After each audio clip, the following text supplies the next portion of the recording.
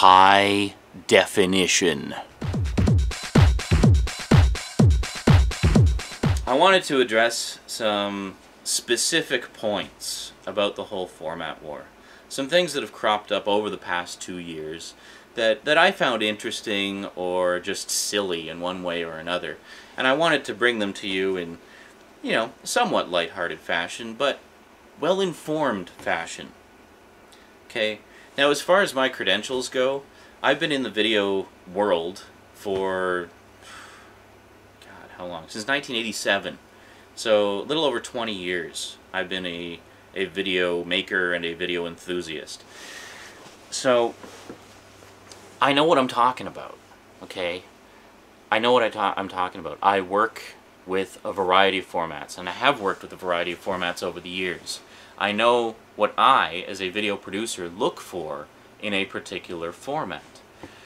And uh, you know, and, and, what I look for in terms of convenience, uh, storage capacity, uh, speed, quality, all these factors factor into my purchasing decision.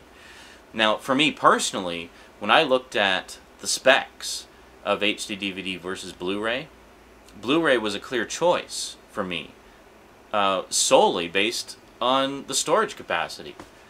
You know, I mean, a Blu-ray disc holds a single ray, uh, single ray, single layer Blu-ray disc holds 25 gigabytes of information. Okay, a single layer HD DVD disc holds 15 gigabytes of information. Now for me, I work with video a lot. These video blogs that I do, I save in DV AVI format, basically meaning that it's uncompressed, full quality video, and because, you know, for the archives, right, for my personal archives. So I save it in, in full quality, the, the full uh, quality of how it was originally recorded uh, for the archives. So, for me, storage capacity is a big deal. You know how much DV takes up? You're looking at 12 gigs for one hour of video. 12 gigs! That's a lot. If I were to spread that out over single layer DVDs, we're looking at three DVDs to contain one tape of information.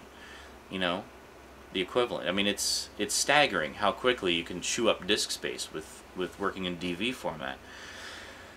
So for me, um, I was looking at the new formats from a you know computer standpoint, looking at as a data storage solution, um, even if only a temporary one. Now, so for me, it's like right now I can go out and purchase a spindle of 100 blank DVDs for about 30 bucks if they're on sale. So, you know, looking at about 30 cents a piece. That's pretty good. So 4 gigs times 100, you're looking at about 400 gigs of storage on a spindle.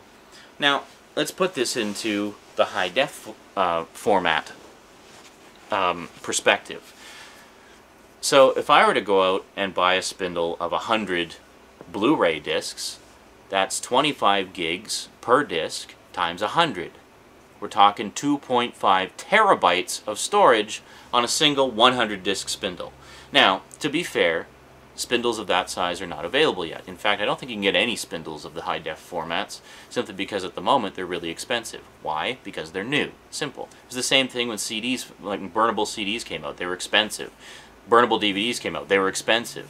But eventually, as consumers adopted the new formats, the prices went down. There were more companies manufacturing blanks, so they compete with each other, and the prices go down. That's the way it works.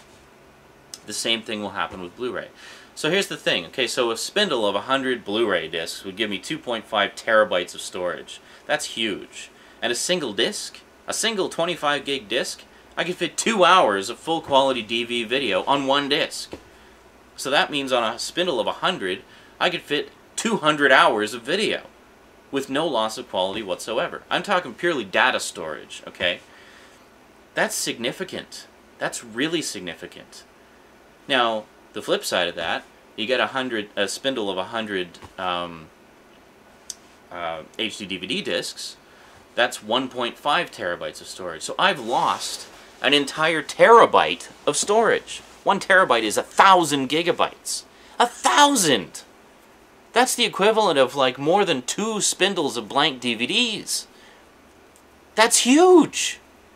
How can you people say that that's not significant? That is hugely significant. and here's the real kicker.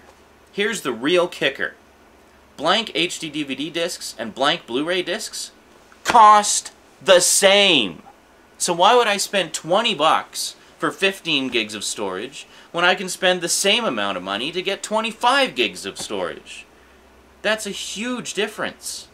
And I don't understand how the HD DVD side can go off saying, oh, storage capacity doesn't matter. Storage capacity doesn't matter. Yes, it does matter. And I'll tell you why. Let's look at it from the home video perspective. Okay? The home video perspective. Up until recently, high definition movies on Blu-ray and HD DVD have had one thing in common. The movie is in high definition, 1080p high definition. Beautiful quality. The extras, however, standard definition. Why? Simple.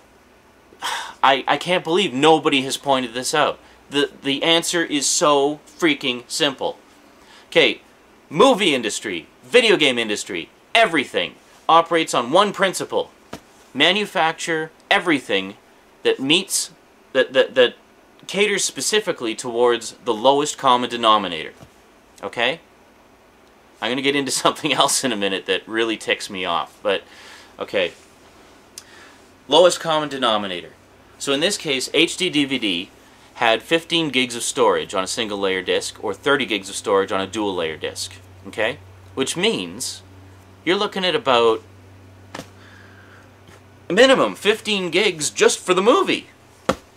That's it. That doesn't leave a lot of space left over. Which means if they want to cram on a whole bunch of extras, they've got to keep the file size is low, meaning standard definition. What am I getting at here? The reason we see this, movie in high def, extras in standard def, is because everything was being mastered with both formats in mind. If they mastered everything for Blu-ray with the higher disk capacity, that would mean that high, the HD DVD version would have to be split across multiple discs to contain the same content. Do you think they want to be doing that? No, it costs money to make discs. Not a lot per unit, but it adds up. And especially with a new format like high definition, where the market saturation is not to the point where it can support multiple formats like that and justify the expense. So, they manufacture for the lowest common denominator.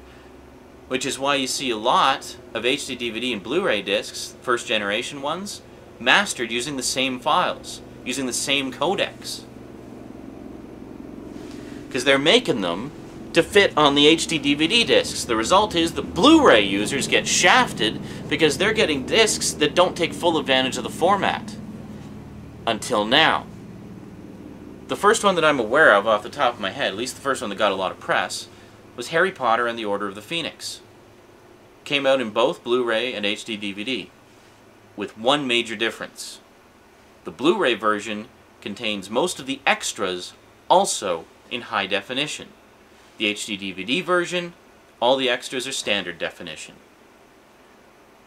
This is the way things are going, okay? Blu-ray has the additional storage capacity, so it can handle the larger file sizes required for having both the movie and the extras in high definition. Now, some of you may be thinking, well, what's the big deal? Who cares if the extras are in high definition? The main thing is the movie. And yeah, that, that's true.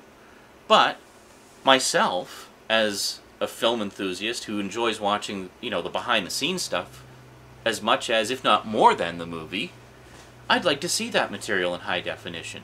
I'd like to see all the nitty-gritty details as, you know, we're looking at concept paintings, or we're looking at the, the detail on the models used for the special effects, and things like that. That's stuff that I think would really benefit from high definition.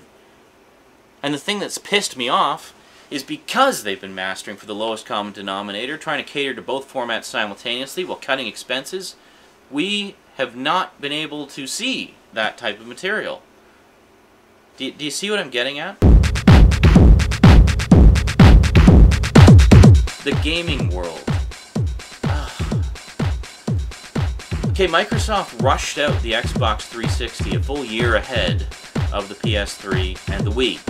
Both high-def formats, HD DVD and Blu-ray, weren't ready yet. They went with regular DVD. Regular DVD! And it's touted as a high-definition gaming platform. Because of Microsoft's insistence of pursuing their own agenda and getting a jump on the competition, that means we're going to have games, games that are multi-platform, put on Blu-ray discs that don't have more than 9 gigs of content. So Xbox, get on the ball. Put out a Blu-ray player for the Xbox.